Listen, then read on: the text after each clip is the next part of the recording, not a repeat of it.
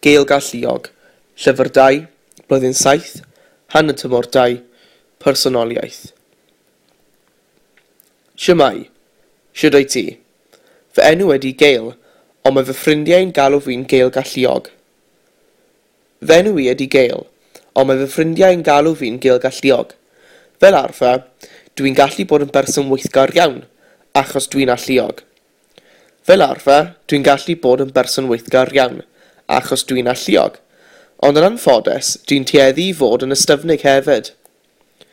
Dwi'n tueddu i fod yn ystyfnig.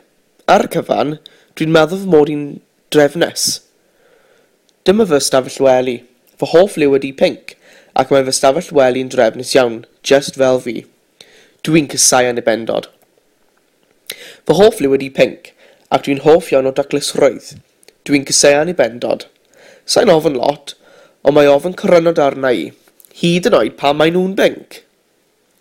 Sa'n ofyn lot, ond mae ofyn crynud arna i. Wedi dweud hynny, sa'n hoffi blas na golwg trioglyd, marmait, a fi. Sa'n hoffi blas na golwg trioglyd marmait, a fi. Does neb yn fy nhaulu yn hoff o marmait, diolch beth. Ces i fy ngeni ar y pumed ar hugain o fus hydref fy arwyddesidydd ydy'r sgorpion. Yn ffodus, fy arwyddesidydd ydy'r sgorpion, felly dwi'n gallu bod yn genfygenus tu hwnt. Dwi'n gallu bod yn genfygenus tu hwnt. Weithiau mae pobl o sgorpion hefyd yn fiwnblig, ond sa'n credu fy mod i'n fiwnblig o gwbl. Sa'n credu fy mod i'n fiwnblig o gwbl. Dyma fi a fy ffrindiau yn ymarfain sgiliau adeiladu tîm. Yn fy marn i, fy nodweddion gorau ydy dwi'n helgar a charedig. Dyma fi a fy ffrindiau yn ymarfer sgiliau adeiladu tîm. Yn fy marn i, fy nodweddion gorau ydy dwi'n helgar a charedig. Heb os nac oni bai, dwi'n amyneddgar iawn dwi'n credu. Yn fy marn i, fy nodweddion gorau ydy dwi'n helpgar a charedig. Heb os nac oni bai, dwi'n amyneddgar iawn dwi'n credu. Er fy mod i'n gredig, Fy nodweddion gweithaf ydy Dwi'n blentynaidd a phroen Uchel. Dwi'n blentynaidd a phroen uchel. Ar y llaw arall, dwi'n bigog hefyd, sy'n gallu creu problem i weithiau. Ar y llaw arall, dwi'n bigog hefyd, sy'n gallu creu problem i mi weithiau. Byddwn ni'n newid tas ni'n gallu. Byddwn ni'n newid tas ni'n gallu. Hoffwn i fod yn fwy poblogaidd achos does dim llawer o ffrindiau gyda fi. Hoffwn i fod yn fwy poblogaidd, achos does dim llawer o ffrindiau gyda fi. Hoffwn i hefyd fod yn llai ofnus achos dwi'n rhy fiwnbleg. Hoffwn i hefyd fod yn llai ofnus achos dwi'n rhy fiwnbleg. Rhaid, i mi ddweud dwi'n edmod gyr gantor ys Beyoncé. Rhaid i mi ddweud dwi'n edmod gyr gantor ys Beyoncé.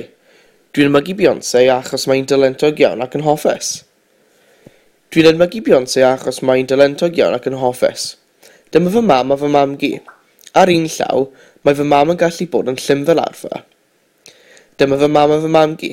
Ar un llaw, mae fy mam yn gallu bod yn llym fel arfer. Ar y llaw arall, mae'n tueddu i fod yn pushover. O ran fy nain, ar yr un llaw, mae hi'n gallu bod yn hyderus fel arfer. O ran fy nain, ar un llaw, mae'n gallu bod yn hyderus fel arfer. Ar y llaw arall, mae'n tueddu i fod yn aniben hefyd. Arwrisidydd mam ydy'r glorian, felly mae hi'n deg. Arwrisidydd mam gi ydy'r cleidydd dŵr, felly mae hi'n gyfeillgar. Arwrisidydd mam ydy'r glorian, felly mae hi'n deg, ond mae hi'n gallu bod yn anheg hefyd. Arwrisidydd nain ydy'r cleidydd dŵr, felly mae'n gyfeillgar, ond mae'n gallu bod yn hyrt hefyd. Fy hoff ffrind ydy Aran. Fy hoff ffrind ydy Aran. Mae gwallt i syth gydag Aran. Fy ffrind gorau ydi Aran. Mae gwallt i syth gydag Aran ac mae llygau brown tywyll gyda fi. Mae gwallt di syth gydag Aran ac mae llygau brown tywyll gyda fi. Ei arwydd y sidydd ydy'r sgorpion, felly mae e'n alluog. Mae Aran hoffi mynd i'r pellnofio a dydy e ddim yn hoffi chwarae rygbi. Mae Aran hoffi mynd i'r pellnofio achos mae'n heriol. Mae Aaron hoffi mynd i'r pellnofio achos mae'n heriol a dydy e ddim yn hoffi chwarae rygbi.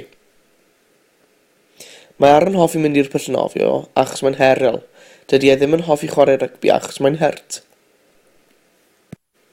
Dyn ni'n ffrindiau. Dyn ni'n ffrindiau achos dyn ni'n weithgar a boblogaidd. Hwyl fawr!